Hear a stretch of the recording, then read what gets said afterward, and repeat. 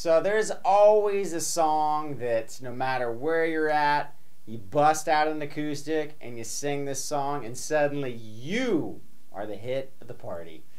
This is one of those songs. So, speaking of songs, if you have song requests, click the links below. A little backed up, but I would love to teach a song you want to hear. Also, don't be afraid to, you know, tell your friends about the channel, spread it far and wide. Let this thing just spread like. All right, enough babbling. Let's get to the tune. All right, so capo on the second fret. So I will refer to first, second, third fret behind the capo, right? So there's only a few chords in this whole song. We're going to have a G. Second finger is going to be on the E, third fret. Your first finger is going to be on the A, second fret. You're to have your ring and pinky on the third fret of the B and the E. You get to ring all those strings out. Next chord is going to be an A minor. First finger, first fret B, second finger or your middle finger is going to be on the second fret A, or excuse me, D string. Ring finger is going to be on the G string second fret. You get to hit from the A string down. And then we're going to have a D chord. So your first finger is going to be on the second fret G. Second finger is going to be on the second fret E. And your ring finger is going to be on the third fret of the B string. and then we're going to have D string down. Having a hard time saying those strings today. All right, so that basically is the whole first part of the song. Now, the the rhythm is the tricky part of that song. But then it does a key change at the very end, and let me just go over those chords really quickly. It's going to be an A, so you can either do the, the lazy A and just put your first finger across the second fret D, G, and B strings and hit from the A string down, or you can do the nice, pretty correct, whether or not you do it this way or this way. One, two, three, same fret, second fret, D, G, B strings, hit from the A string down. Then you're going to do a B minor chord, which is A to E with your first finger barring across. So you put your finger flat. Then you're going to have the third fret, you're going to have your middle finger on the B string. Fourth fret, ring finger is going to be on the D. Pinky is going to be on the G fourth fret. And you hit from the A string down. And then we're going to have what looks like an you know open E position, which is just first finger, first fret, G, A string, second fret with your middle finger. Ring finger is going to be on the D string, second fret. You to hit all the... Right? That's it. So the tricky part about the song, other than the chords being awesomely simple, the, the tricky part is the rhythm. It's not. It's a swung feel, which is.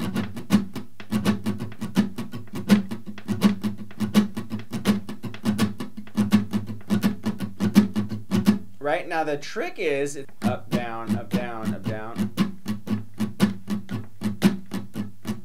But if you notice, um, that second downstroke is an accent, so it's.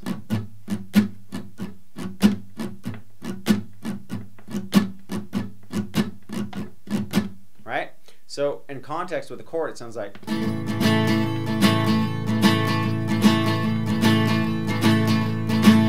Right? So the second down's a nice, powerful strum, followed by a pretty good upstroke on that second upstroke. So you basically are accenting on the second up and down, or down up rather. And if you notice, they start on an upstroke, so it's.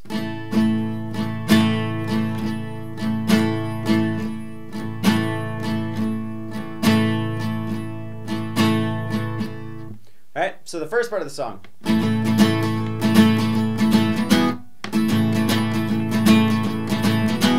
So what you're doing is that strum pattern, up, down, up, down.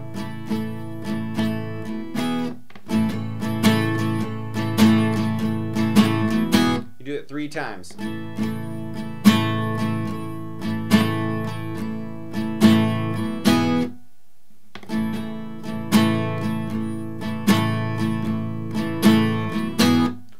Right, so you just do that actual sequence from D, uh, G to D twice the pattern, you know, a da is one. So you're going to do that three times.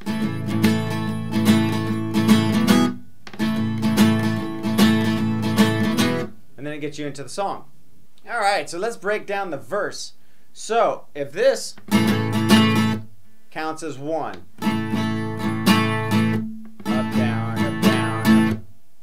that counts as one, we're going to do eight of those on the G. Four, five, six, seven, eight, right? Then we're going to switch to the A minor, which is four.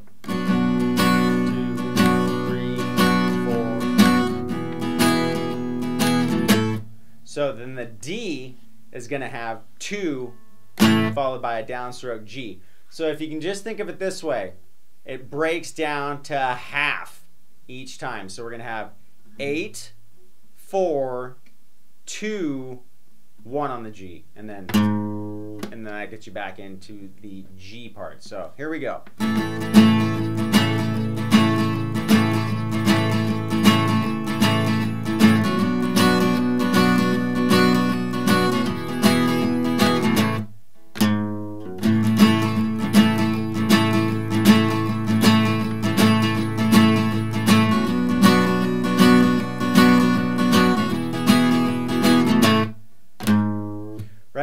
I'm doing there is on the second fret, and then you pull it down a little bit. So remember, it's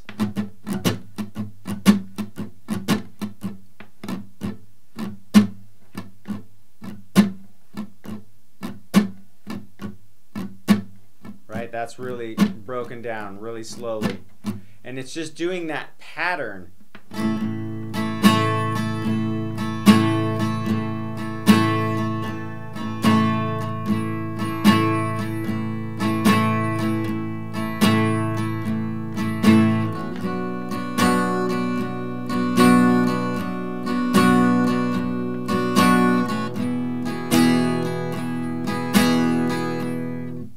right? And then to the G is basically all the verses. Now the chorus is very similar to what the verse is, but you don't go back to the G. You just go from G to A minor to D. So we got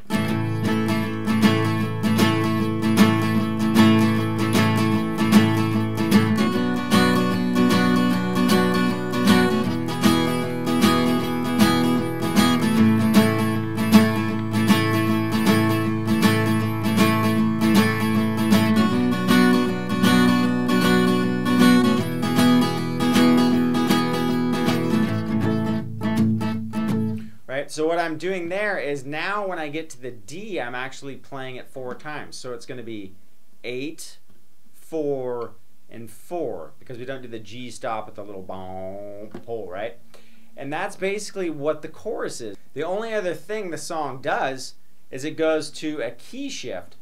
Basically, it's going to be the same, you know, type of sound chord-wise, but you're going to do a different set of chords. That A, B minor, to E. Sorry. so the next part of the song is going to sound the same, but it just shifts up a key change, right? So instead of G, we're going to go up a whole step and take everything up a whole step, which would make this A, B minor, and E. Right? You're just basically taking each chord and moving it up a whole step. So same pattern, same everything. This is basically a uh, chorus outro. So you play it like a chorus.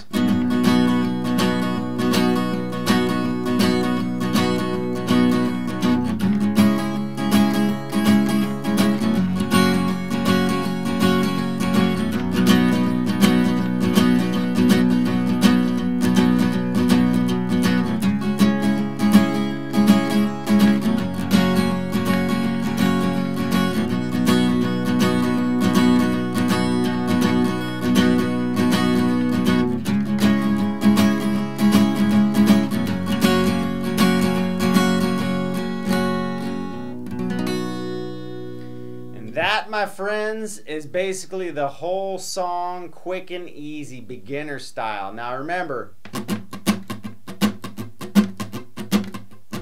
That's the trickiest part of the whole song.